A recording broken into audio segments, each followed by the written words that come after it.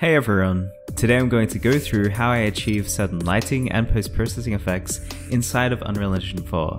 I've been asked this question so many times, so I thought I would address it in a video. We're going to go through how I created the environment in the background and achieved the lighting and post-processing effects.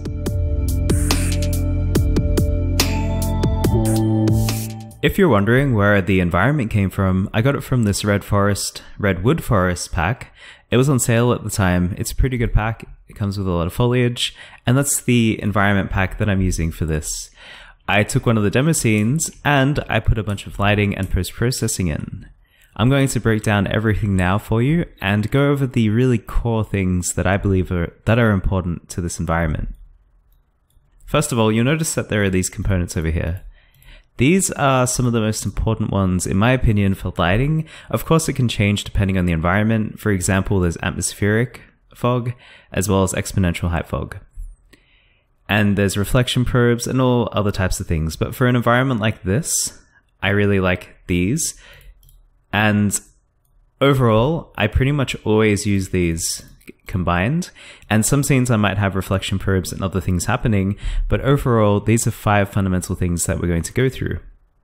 The first thing I'm going to do is actually disable these effects and show you what the scene looks like without them. So let's turn off the skylight. The sky sphere, I'm going to reset it back to what it was originally. The post-processing, I'm going to disable this. The light source, I'm going to get rid of the uh, occlusion and the exponential height fog. I'm just going to hide this for now.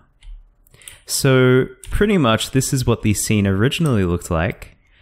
Quite dark, it's hard to see things, it looks very red. The shadows are very harsh, you can't see the details in here. There's no real ambient light. It's okay, but it doesn't look great. There's a lot we can do here, and one of the first things we're going to cover is the light source itself. So the light source is really important. There are a lot of things you can do with it. One of the main things you want to focus on initially, apart from how intense you want the light to be and affect your scene, which is usually something I come back to, you want to focus on the actual rotation of it itself and where where are the shadows coming from. I already planned a good direction for the shadows based off the types of camera angles I'm going to use. But in a game in general, you are really focusing on can the player clearly see everything that you want them to see? And are you are you covering up any focal points? So first of all i like to mess around with the shadows. After that uh, the light color can be very important. I have mine slightly in the yellow. I'll take it back to white put it back on the yellow. It affects the world and it gives it a bit of a different color and you'll see this a lot more once we get the skylight back in. So let's go back to the skylight over here. This is a really amazing component. And if you have a look in these very dark areas, I'm going to enable the skylight. And it's allowing us to see in these areas here. It's no longer completely dark. It lights up the world a little bit. And this usually is the thing that makes a dramatic difference in the scene in terms of visibility, being able to see things, and the overall look and feel of the scene, as you can see here. So the skylight is a very important component. You can mess around with the intensity. I personally usually keep it around one. And you can also change the color. I will show you in a little bit what the light color does itself. Generally, when I'm doing these environments, it's not just one effect that makes everything look great, it's a combination of doing everything in a very subtle way. Next up, we have the sky sphere. This component is going to really affect the skybox, if you want to consider this a skybox, in the scene. So firstly, I like to get rid of this color determined by sun position, as it allows me to access the override settings. Let me show you what these do. I've already messed around with them quite a bit, but if we go to the overall color, I can change how the lighting will look overall and I can get some pretty dramatic effects and it can look really nice depending on what I am trying to achieve. But you can't have a, just a nice looking overall color without messing around with some of these other effects. I'm just going to put that a bit over here. Without messing around with the horizon and zenith color. So let's have a look at this. The zenith is the color at the top. So obviously I can change that to quite a few different things. And the horizon color is this color over here that you'll see now.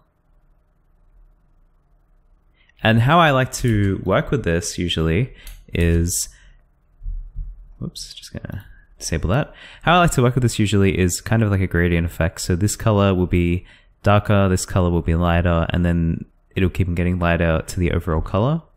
The cloud color, as you can see here, there are clouds. White is usually a good default, but of course, if you're going for something a bit unique and you're doing something different, you can change that. But I personally don't mess around with that too much. Outside of that, you have the cloud opacity. I actually turn this up. Here's the original value. So if I just click here, you can't really see them.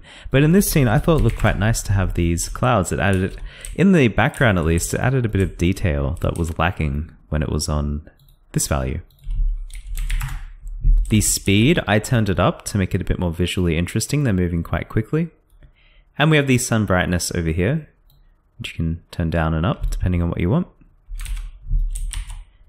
And th these are the main things that I mess around with. The override settings, I never really keep that as standard. I always override it and do my own look because I believe it looks so much better once you add add those custom settings in the override to the sky sphere. I mean, personally, I believe this and this, it's a huge difference. I feel like this looks a lot nicer.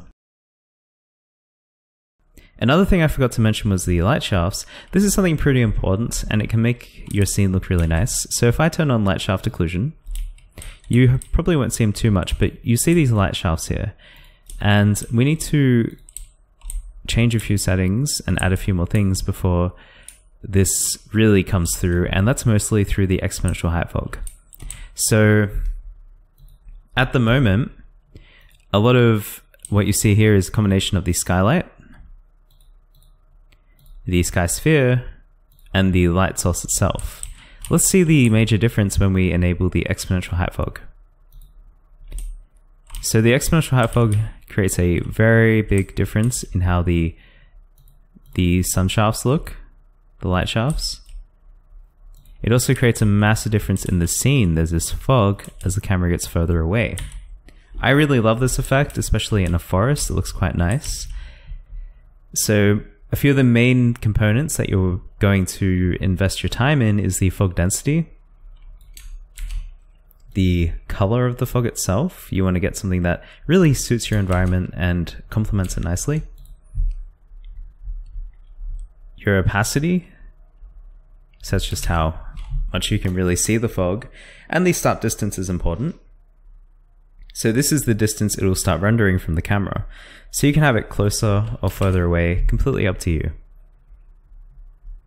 This setting over here is volumetric fog, and this is what allows this these sun shafts to shine through quite well. So if you see here, I can modify this and they can become stronger. and it allows it to shine from different angles.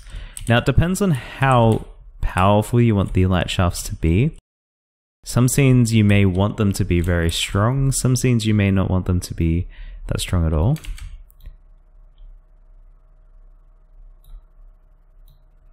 So these a lot of these settings are about how does the fog and the light shafts interact with one another.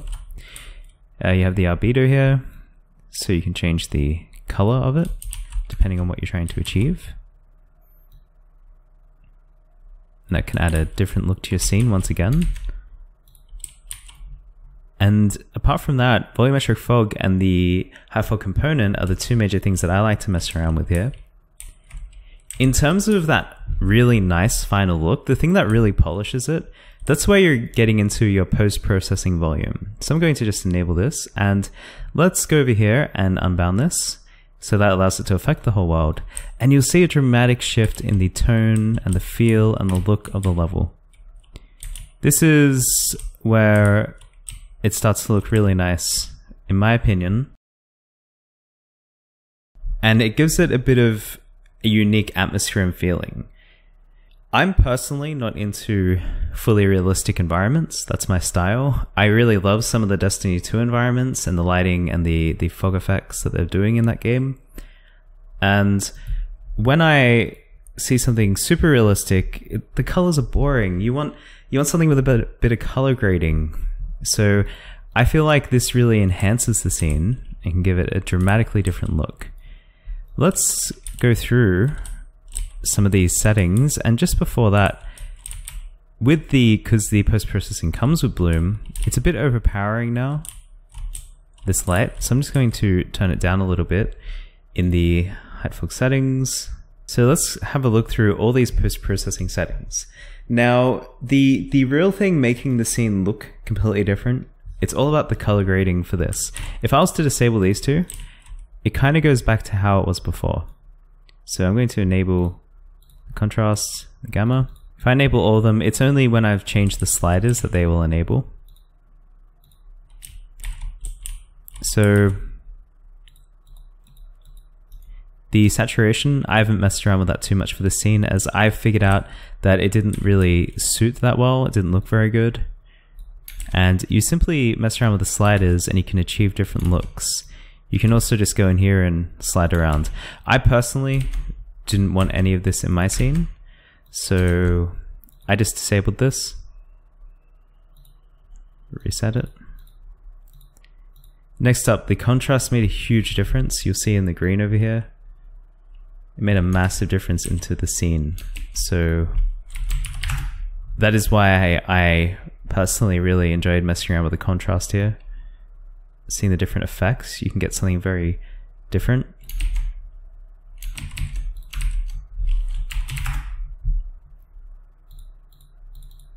And the contrast is really one of the main effects if you see here.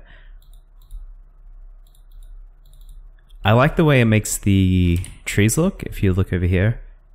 This color. And I feel like it really enhances the fog, if you look over here. The gamma added a bit more of a, like a, a blue tint, or an aqua tint to things. And that's just, if you see here, it's very subtle. I only moved it down by 0.5 and it can make a huge difference. And the gain obviously makes a massive difference in terms of the look. And all I did was increase this, increase this by 0.3.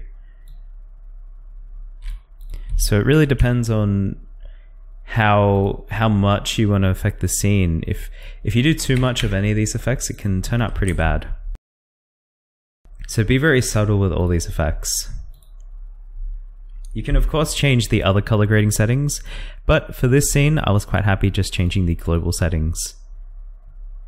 We have our standard image effects over here, which I didn't really mess around with too much. Bloom was something that, that I did increase, so let's have a look. That's what it looks like with minimal bloom. That's what it looks like with 2.2. I liked the effect of the bloom. Of course, in most games, this is a setting that you can turn down. Depth of field, I didn't add to this environment. I personally didn't find it looked great for this environment. If I had more things in the distance, maybe mountains, depth of field would probably look quite nice, but for this scene, it didn't suit. And I didn't really want lens flares for this scene either. Next up, we have ambient occlusion. Now, I did add a little bit of ambient occlusion. As you can see, it creates these shadows in areas where meshes intersect. And I personally like this effect. And it, it depends heavily on the mesh that you're using, because if you add too much, it just makes it darker and it's not really adding much to the scene. If, if there's none, it's a bit lighter here, but some of the objects they don't stand out as much. So it's important to figure out a good balance. It's also important to figure out a good balance of the radius. Switch that back to 75. And that is it. Those are the, the main settings that I use to achieve this kind of look. And I'm quite happy with it. And overall, these are the main things that I always mess around with. So it's important to figure out what type of look. Like when I make this a bit more red, it totally changes the the feeling of the scene, how everything looks. So I feel like the post-processing, there's no just like, there's no, in terms of lighting and post-processing, there's no, this is the perfect solution. All I can really give you are a few steps on how to get here. And these settings that we have over here, and these components, the skylight, sky sphere, post-processing volume, light source, and exponential height fog, these are the main ones that I use personally to achieve these effects and these drastically different types of lighting. So what I'm going to do now is do a little comparison of the before and after.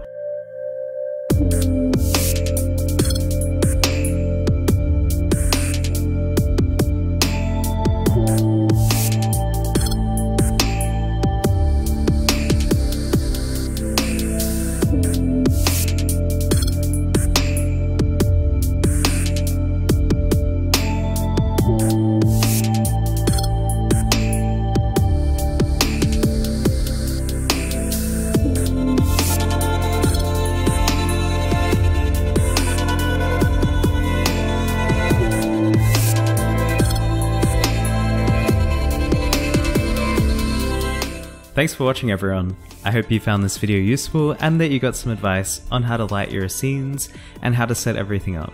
If you like this video, make sure to subscribe for similar content, and if you want to support me, I have this Ko-fi link so you can buy me a coffee if you like. You can check that out in the description. Thank you all so much for watching, and I will see you all in the next video.